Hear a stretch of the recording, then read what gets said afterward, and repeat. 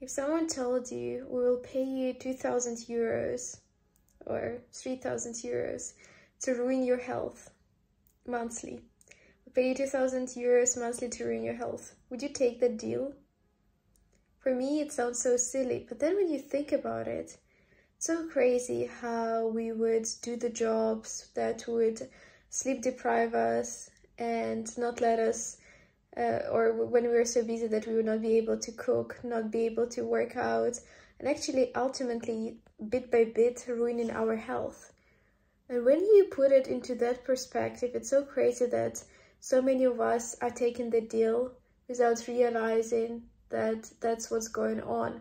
And we don't value something that we have once we have it, and we will only value it once it's lost. And the things that we have currently, presently, all those sacrifices, they seem so small, but without, but because we don't realize the full consequences of that big loss afterwards and how it will feel. And I think ultimately, when I realized that actually health is my number one priority, because anything else can be your number one priority until the moment that you get sick. And when you get sick, nothing truly matters everything can seem so important. All the meetings, all the appointments, all the plans, everything else, every other person. But then the moment you get sick, you realize that you are number one priority and your health is your number one priority because without it, you cannot give, you cannot contribute, you cannot create, you cannot be fully alive, you cannot live up to your full potential. And it's so interesting how we subconsciously maybe know that, but we really don't pay attention to that fact enough, or at least that's something that I've noticed.